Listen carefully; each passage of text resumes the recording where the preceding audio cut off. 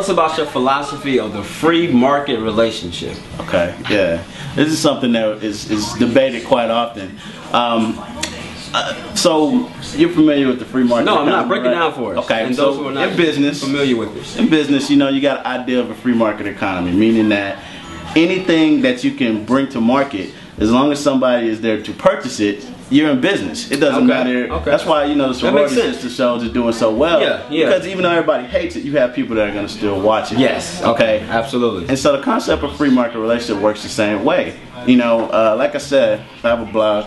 It's called the urbanbachelor.com. The urbanbachelor.com. Yeah, and it's pretty much you know to empower gentlemen who are working on their on their personal self, their business or whatever they want to do, to be able to still have you know substantial relationships without Without being without being bogged down by the expectations of a traditional monogamous relationship. Okay. and so when it comes to free market relationship, you set your boundary, and if somebody doesn't like where you are at that particular moment, mm-hmm. they're free to exit. Mm. But it's all about communication. You know what I mean? You don't want to you don't want to lead anybody on or send them Absolutely up a creek. You know what I mean? You want everybody to know where everybody stands at all points in time. Keep it 100. Yeah, exactly.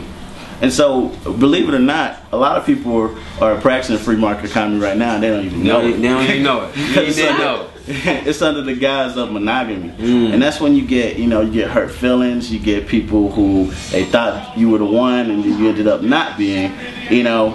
And Mm. so, moving into this new era that we're moving into, where the demographics of love and life are different. Mm-hmm. You know, we all watch uh, Love and Hip Hop, ATL, and see how you got Stevie J messing with such and such girl and such and such other girl, Yeah, and yeah. so on and so forth. And so, if that's your prerogative to do, you should be able to put that on the table and allow a woman to make a decision if that's something that she wants to participate in. Okay, okay. Yeah.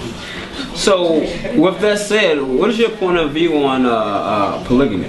Polygamy. that's actually kind of funny because I, I just got back from the, the birthplace of polygamy, Really? uh, Salt Lake City, Utah, with the Mormons, and I met a polygam, polyg- uh, a, a gentleman that came from a, a polygamous family. Really? And he said it was all about love. Me personally, I don't see how you do it. I can only afford one wife at a time. but um, you know, I, I really feel like in 2015 we should really be more open to alternative types of relationships.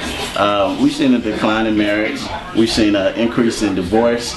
Um, the the demographics of what it takes to run a household are different. We see an increase in single parents and Yeah, yeah. and more of a nurturing atmosphere. So now it used to be, you know, you were a single mom 10, 20 years ago, you you were outcast, you know? Yeah. But now it's almost the expectation at a certain point. You meet a woman with no kids, you're like, oh wow, how you know how that How happened? did that happen? Yeah. And so with that being said, I feel like we have to uh, allow the entire atmosphere to shift as well. And so that brings into play polygamy, polyamory, where you might be in a situation where you're in a, a somewhat monogamous relationship in some aspects. Define be- somewhat monogamous relationship.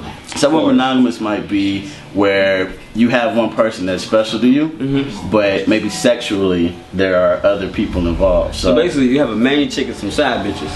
that, or it could be, you know, maybe I got a main bitch, Uh-huh. quote unquote, and we like bitches. My girl Mm. got a girlfriend, or it could be a situation of, you know, what what I do when she's not around is what I do. You know what I mean? But there's still that mutual respect. You're never gonna bring any any of that dirt home. You're never Okay. gonna bring any kind Absolutely, of, yeah. you know, nothing negative back to the house. Yeah, I can see that. Makes but, sense. Yeah, it's all about communication though, and I think that's what a lot of people are lacking in their relationship. It's expectations without communication. Absolutely, absolutely. Okay. Well, man, you got anything else to say? I, we got a lot of information for you this evening. Okay, okay. Well, um, you know, it's been cool, but I, I really I just want to say, man, people need to get back to loving each other and uh, leaving all the bullshit behind, leaving all that that expectation, the obligation, and really make it to a point where people are back in it for the love of things. If you care about somebody, let them know. And treat people how you want to be treated. Exactly. If you can make it work, then do everything you can to do that. It's all about being happy. Exactly.